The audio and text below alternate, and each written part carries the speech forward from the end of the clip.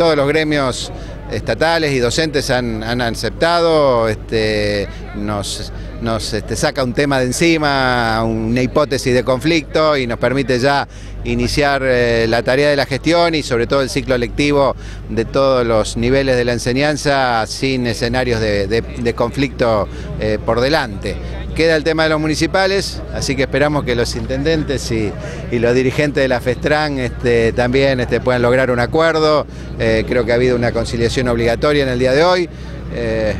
esperamos que el gremio la acate y que se abra otro espacio de negociación para en el curso de, la semana, antes del fin de semana, podamos eh, cerrar todos los conflictos en, la provincia. Ahora, tío, PCN también los gremios docentes piden que la paritera quede abierta. Digamos, es un escenario que ustedes ven, digamos que quizás después de julio, agosto pueden volver a sentarse a dialogar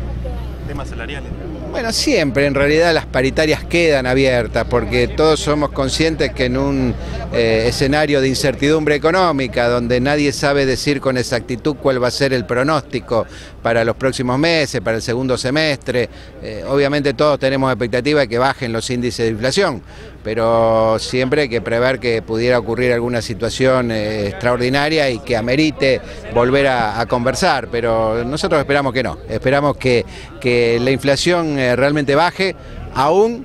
que puede perjudicarnos desde el punto de vista de las arcas públicas, ¿no? porque en tal caso, si así ocurriera, quedarían los salarios por arriba o muy por arriba de, la inflación. Pero, pero realmente creo que le haría muy bien a la Argentina que, baje, que bajen los índices de inflación y esperamos que el gobierno acierte en las políticas antiinflacionarias.